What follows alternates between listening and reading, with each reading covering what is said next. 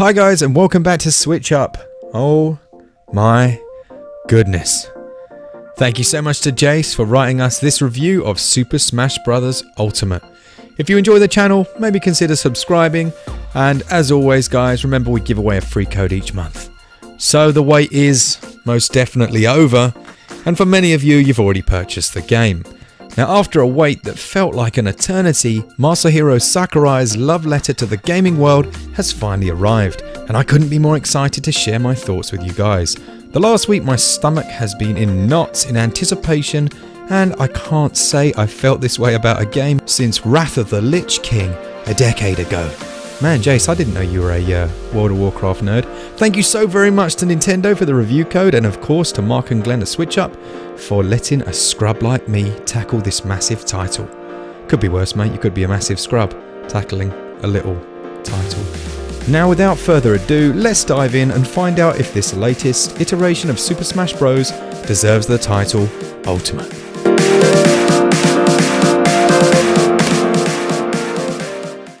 Fair warning to the competitive purists out there, while I consider myself a massive fan of Super Smash Bros, I play the games for the fun party experience and not the online competitive, so if you're looking for a deep dive into statistics and percentages, you'll need to look elsewhere.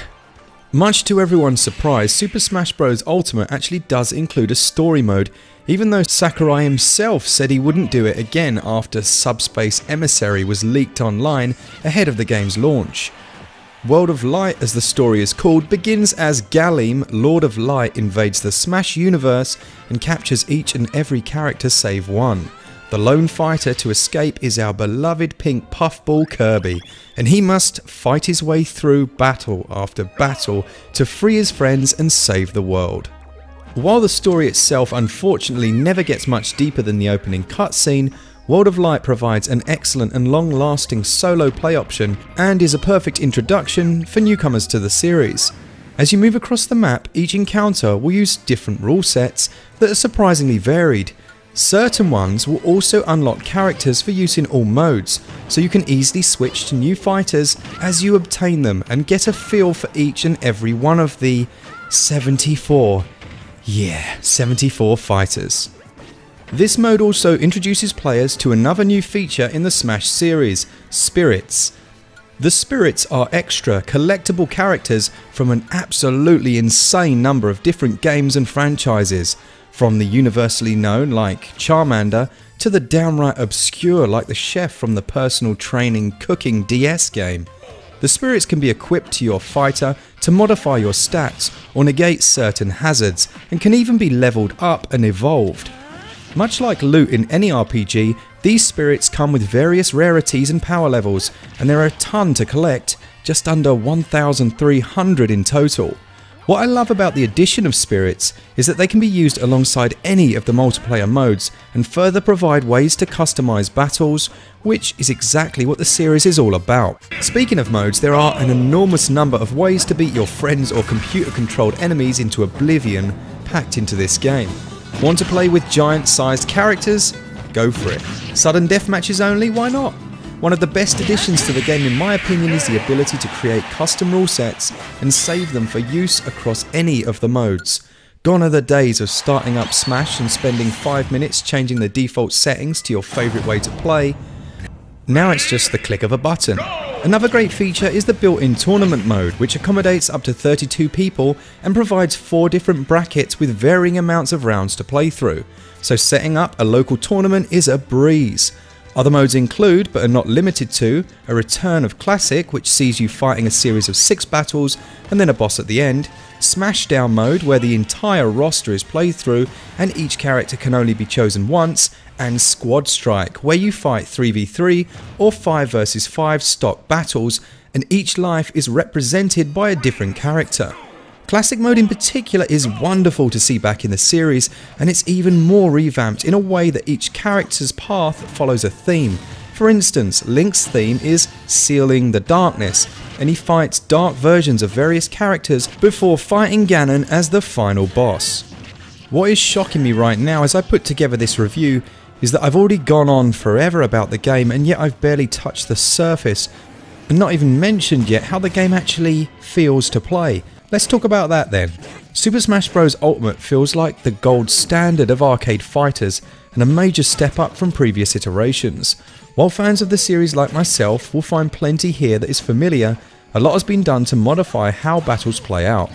Damage and launch distance have been tuned in a way that combat feels much quicker, with it being rare to survive very long while over 100% damage. Each character has been revisited and tweaked. Jumps feel less floaty and almost heavy. As a die-hard Melee fan, I didn't think I'd ever like another Smash game as much as that one, but I absolutely love the direction they've taken Ultimate and so I think I can finally put Melee to rest. For the uninitiated, the controls are incredibly simple, and in combination with the customization mentioned before, makes this game one of, if not the best pick up and play party games on the market. While each character feels vastly different, they all control the same. The joystick is used to move your fighter around the screen, the A and B button prompt attacks, the R button is used to grab and the triggers to dodge. At a high level, that's really all there is to it. The complexity comes with learning how each character attacks, and some are more difficult than others to master, but at the end of the day, just about anybody can find a character they can succeed with. The simple controls are as tight and responsive as ever. While I strongly believe the GameCube controller is the best way to play, I did give the other controller options a go. The Pro controller feels fine and is a solid option for someone not accustomed to the classic. I don't suggest a single Joy-Con setup whatsoever but I find just about any game difficult to play in this way. Obviously I'm raving mad about this game, but to give it an honest and fair review I also need to report some negative aspects I've come across. First, I feel like launch distance is a little too much right now. It's very difficult to chain combos, which might have been the point, but certain characters have moves that become almost useless as it stands right now. The best example of this is probably Marth's side B 4 hit combo. On the third hit, even at low damage, your enemy will fly out of range of the fourth and strongest swing, leaving you to miss completely. Second, while I appreciate the option to play this way, 8 player battles on small stages make it next to impossible to follow your characters around the screen, with so many effects going off and characters flying around. The last gripe I'll mention, and this is the big one, is online play. During my time reviewing the game, I was able to jump into a few online matches, but latency became an issue. In one battle, I froze completely for over 20 seconds before the fight continued.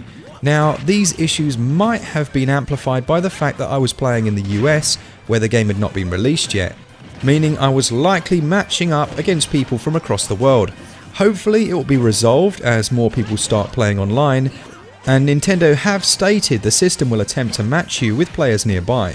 In any case, my initial online experience was not stellar, and that could be a huge hindrance to the longevity of the game if it persists. Now, had the game launched with the fixes I mentioned, then gameplay would receive 19 out of 20, but as it stands right now, these are big issues. So while an incredibly fun game, gameplay still scores 18 out of 20. And the ever amazing controls score 19 out of 20. In terms of visuals and performance, all I can really say is that I wish every game ran this well and looked this good. Even with 8 players on a stage with hazards everywhere, bombs going off, Pokemon and assist trophies wreaking havoc left and right, not once did I experience a frame drop or slow down. Given how I've seen other games chug to a stop with too many effects on screen, it is mind blowing how well Smash is handled. I love the little details and care thrown into every character, stage and item. One of my early favourites in this version has been Link, and small things like his Master Sword glowing during strong attacks add that extra flair that sets it apart. Even the stages resurrected from the original Super Smash Bros. on the N64 have a look to them where you can tell they've been updated and enhanced, and yet they somehow look like they haven't changed at all. I like to think that these levels in particular now look how my nostalgia filled brain remembers them always looking, and seeing them makes me feel like a little kid again. The only complaint I have is along the same lines as my gameplay issue earlier, which is just that sometimes there are too many things going on at once. My poor eyes sometimes lost track of my character completely in all the mayhem. This is a tiny gripe to be sure, but should be mentioned anyway. Visuals and performance score 19 out of 20.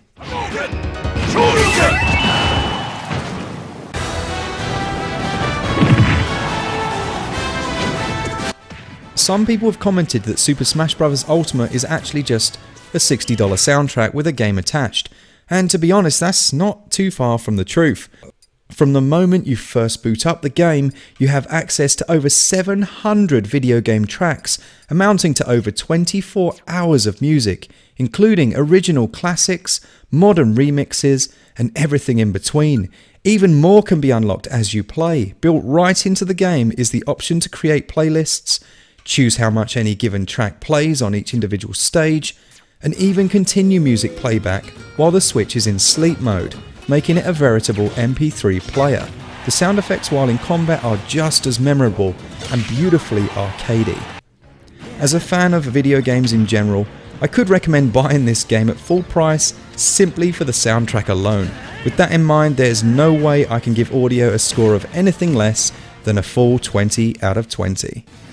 It's not going to shock anybody that the most highly anticipated first party Nintendo game of the year is selling for a full AAA price, with 74 characters to unlock, a 30 plus hour story mode, nearly 1,300 spirits to collect, and the largest video game soundtrack in history, this game would be unbelievable value for money even before you consider any of the multiplayer modes, adding countless ways to customize how you play and simple controls that will allow anyone to jump in and have fun, this game will easily suck hundreds or even thousands of hours from many people.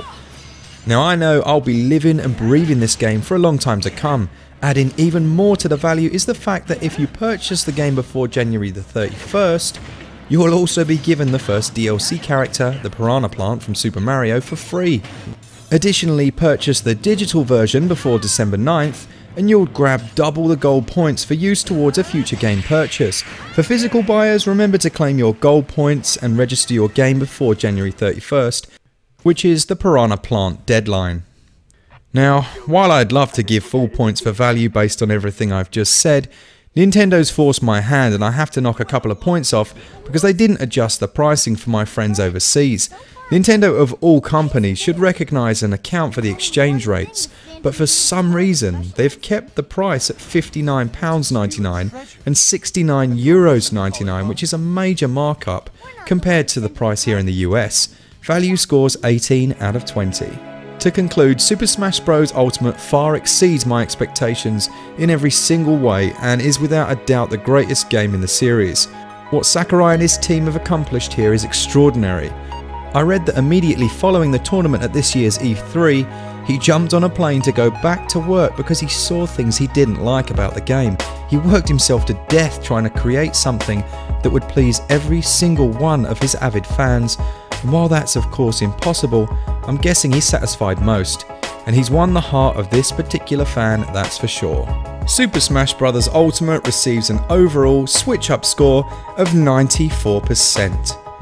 Glen and I can't thank Jace enough for the time and effort he's put into getting this review out today, so that's incredible. Thanks so much, I apologise wholeheartedly to your wife and family, and as always, for all things Switch all the time, keep it Switch up.